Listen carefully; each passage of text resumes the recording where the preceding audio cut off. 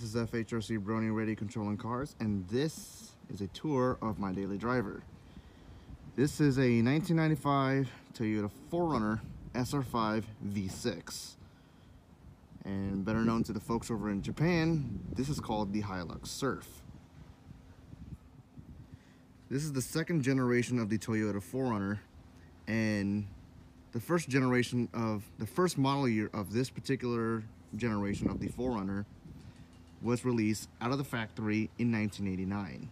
This in particular is the 1995 model year, which marks the last year of the Gen 2 4Runner, where, it, where it changed to the Generation 3 4Runner in 1996. Now, despite this is being called the Toyota 4Runner, it is not four-wheel drive. As you can see, there's no CV joints, no CV shafts over here. And also, it's pretty hard to see over here in camera, but I don't have a front differential. You can also tell, well, at least for now in this part of the video, this is a true two-wheel drive 4Runner. It is not a four-wheel drive 4Runner with its four-wheel drive disengaged. More on that later on in the video. And without further ado, go ahead and check what's underneath the hood.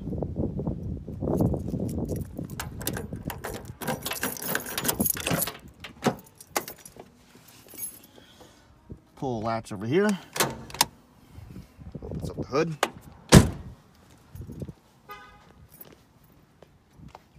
I'm to open up the hood off camera. So we're underneath the hood of the car. And as I said before and earlier on this video, this is actually the SR5 V6 and this does have a V6. It's a 3 liter electronic fuel injection uh, V6. And to the Toyota enthusiasts, this is actually referred to as the 3VZE. Now, this is the same engine that you will also find in the first generation Toyota 4Runner from the 1980s and also in the old Toyota pickups before the Toyota pickup was renamed the Tacoma. This engine produces about 150 horsepower, which might not seem like a lot to all of you hardcore off-road guys and also horsepower freaks. But to be honest with you, nobody's buying this car for its 1,000 horsepower, 0 to 60 mile an hour burst, you know, 0 to 60 in 2.5 seconds or blah, blah, blah, blah, blah. Nobody's buying a 4Runner because it's fast. You're buying a 4Runner because it's tough, it's rugged, and it's reliable. Now, speaking of reliability, the engine, yes, the engine is underpowered. And 150 horsepower doesn't seem like a lot for this car, but it is enough to get this car going. Because also keep in mind, the four-cylinder counterpart of the Toyota 4Runner, the 2.4 liter four-cylinder, also known as the 22RE, only makes 116 horsepower. So you do get more power, you do get a higher power output in the 3VZE. So at least this thing has a little bit more power and a lot of get up and go compared to the 22RE. Now as far as reliability is concerned on this car, I have actually have no problems with this engine so far. And I know what you're thinking. A lot of a lot of the 3VZE owners have suffer a lot of head gasket failures. Now the question is, did I suffer that? The answer to that is a plain and simple no. I have not suffered a single head gasket failure on this car ever since I got this car from my uncle. This thing is running perfectly fine when I got it. Well, aside from the whole misfire thing, but we just had to rearrange the whole distributor wires and now it fires properly.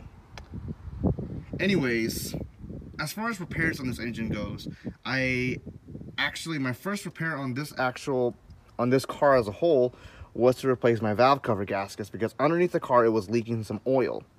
And I felt on the back of the valve cover of the valve covers and they were pretty darn wet. So it was it was my valve cover gaskets that was um, going bad.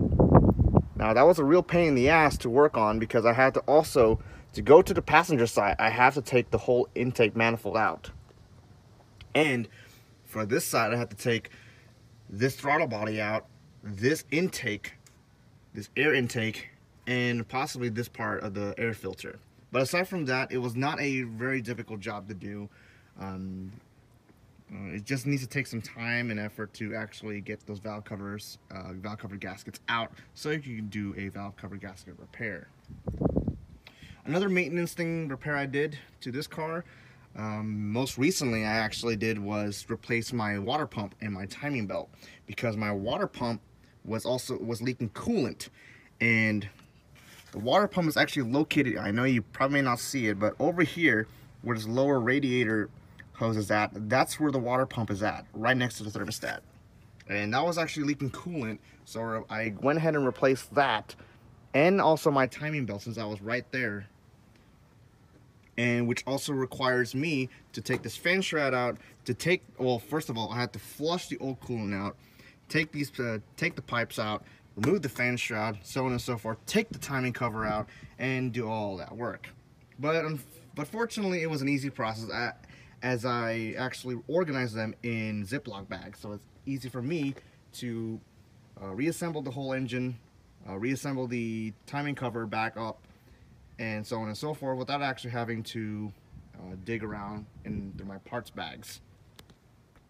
So that's pretty much all the major work that I've actually done on this engine, aside from my AC, because my AC is actually not blowing cold air. I replaced my compressor, but unfortunately that did not do justice. So I am going to go ahead and try to find other uh, other parts on the AC system that I actually do need to repair. But aside from that, this engine has been dead reliable with me and has never disappointed me in all in about the two years I've owned this car. All right, I'm gonna go ahead and start the car up for you and give you guys a couple of revs and, and hear the engine for yourself.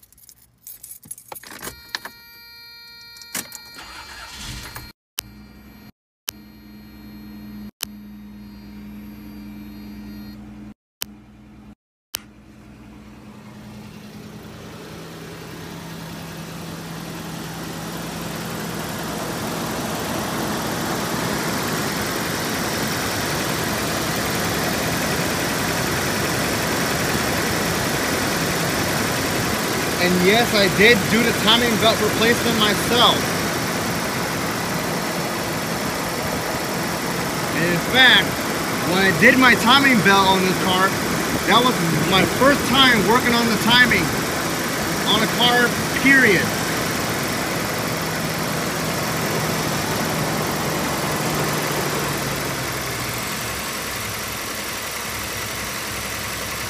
Since the engine is uh, kind of cold, I'm just going to give you the small revs, nothing big.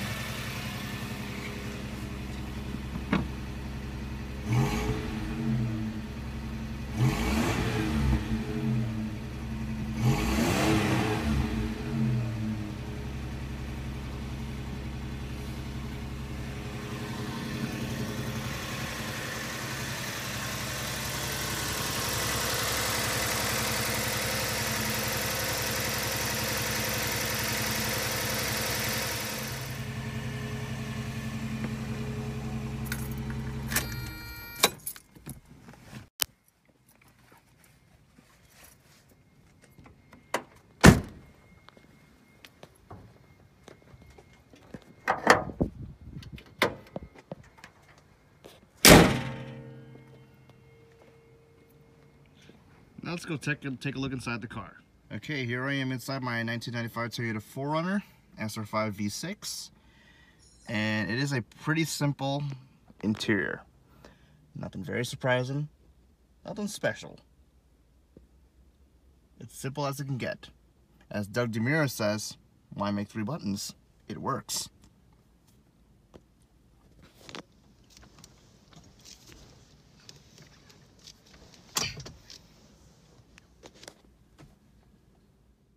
You have a simple gauge cluster, tachometer on the left, speedometer on the right, battery and fuel gauge all the way to the right, oil pressure level, and engine temperature level on your far left.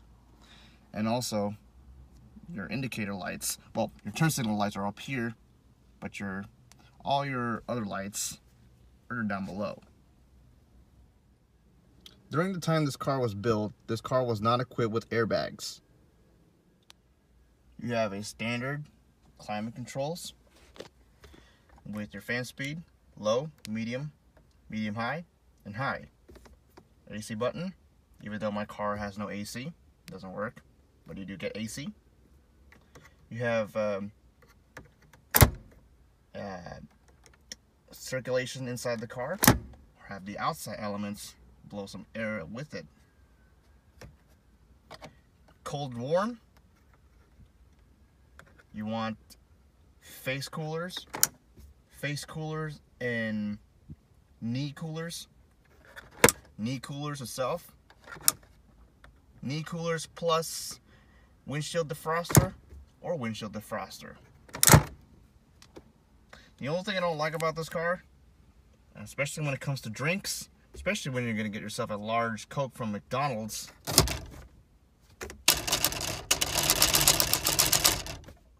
kind of flimsy. Not saying it will break, but I don't know about longevity. This thing right here and that thing over there, those were not included in the car. Those are just something I added. This is for my phone, for my GPS and stuff, and that's for my dash cam.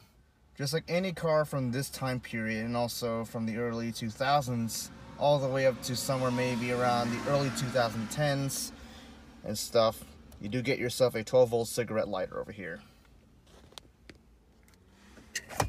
And also some ashtrays with $6 inside. I also mentioned earlier on this video that my car is a two-wheel drive only 4Runner. And what you see here is true. How can you tell if a 4Runner is four-wheel drive or two-wheel drive without looking underneath underneath the car to see if there's any transfer case or any front differential or even just a badge that says four-wheel drive. Well, it's simple. Go inside the car and if it's just the transmission lever itself, then it's two-wheel drive only. But if it's the transmission lever along with a, a with another lever next to it, then that's four-wheel drive. Because that second lever next to the to the transmission lever controls the four-wheel drive, which actually is connected to your transfer case.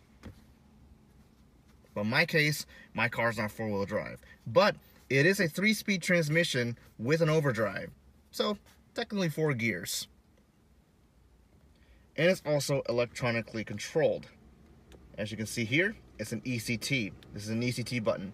ECT stands for electronically controlled transmission. So if I push this button, and if I accelerate the engine will read up to all the way up to the higher RPMs to allow me to have better acceleration. If I turn that off, the car will shift at a lower RPM. So basically, if I push this button, activate the ECT, the engine will rev up to higher RPMs before it starts to shift to the next gear. And if I turn it off, it will shift to the next gear at a lower RPM, thus giving me better fuel economy. Even though 4Runners were not really meant to be fuel efficient. Because keep in mind, nobody buys a 4Runner for fuel economy. Fifth gen owners. All right, let's get into the back of the car. Get out of the way.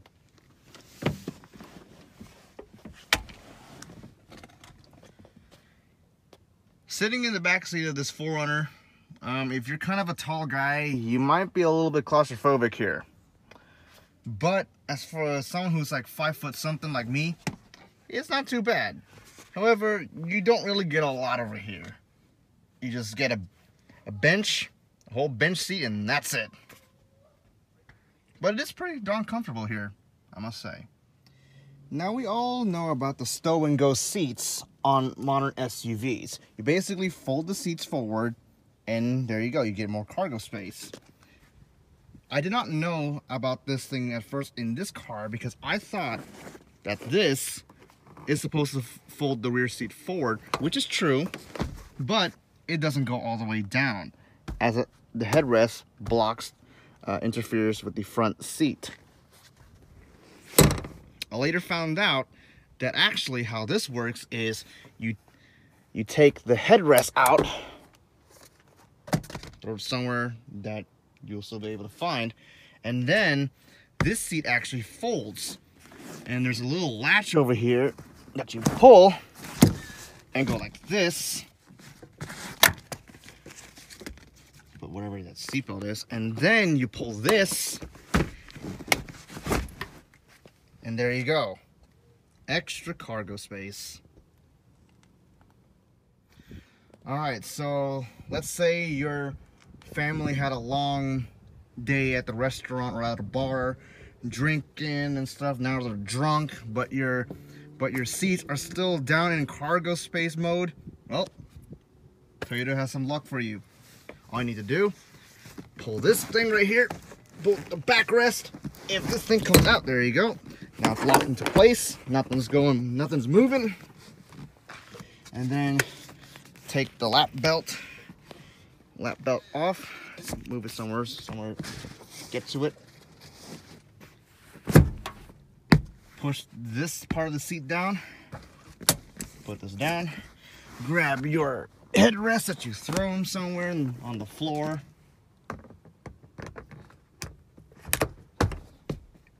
And there you go. Now you can take your drunk family members back home. This is one of the coolest things of the Toyota 4Runner and to be honest with you, this this trait has been around in older SUVs before the 4Runner, such as the Ford Bronco and I believe the K5 Blazer, which is this keyhole over here. You twist it, and the window goes down. It's also it's also controlled through the switch inside the inside the car by the transmission lever.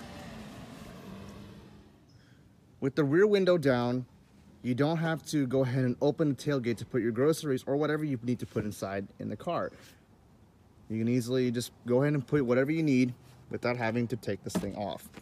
But if you do need to take it off, all you need to do, this particular SUV doesn't have the way that most modern SUVs would go through, which is opening it like a hatchback. This actually opens like a pickup truck. So basically, there's a latch behind here. You pull this handle and there you go. And the real benefit to this, if you're in a sit-down movie or whatever, going out for a barbecue or something, there you go. You can sit down without having to worry. The some modern cars actually have this feature, which is some of them have being the Land Rover, a Range Rover, I should say, and also in Toyota's case, the Land Cruiser. I'll go ahead and close this up. And to close the tailgate, not tailgate, the, the rear window with the key, twist it counterclockwise and the window closes. I am going to keep my windows, my rear windows slightly cracked open so at least there's some uh, air coming inside the cabin because like I said, my car has no AC at the moment. And finally, last but not least, let's talk about the roof rack. This is just a standard roof rack that Toyota actually gave when this car came out of the factory. Uh, this is actually an option. Uh, it's not a much required thing to do, but they are an option. There are plenty of 4Runners I, I know from this same generation and also from new generations that don't have a roof rack. Either the owners have removed them or it came from factory as an option. And so there you guys have it, ladies and gentlemen. This is my 1995 Toyota 4Runner SR5 V6 and a little bit more in-depth tour. I hope you guys enjoyed the video, and unfortunately I'm not going to be driving this in this video, but I will have some driving videos of me in this car. So keep on the lookout for those, and I'll talk to you guys again soon.